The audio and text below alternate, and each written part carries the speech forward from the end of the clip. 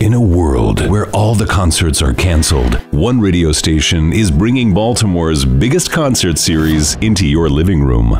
It's WTMD's first ever virtual First Thursday, hosted by Carrie Evans. Thanks, Alex. Hi, Baltimore. Our first virtual First Thursday is June 4th, and we can't wait to share it with you all.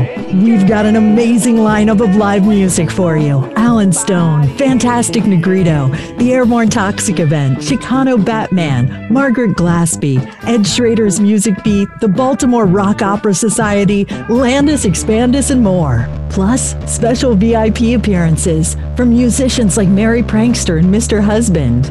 And you'll get to hang out with some of your favorite WTMD DJs, like morning show host Alex Cortright. And me, Sam Gallant.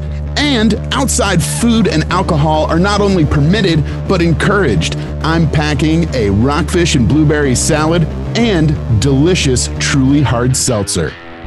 Carrie, want a sip? That sounds great, Sam, but social distancing.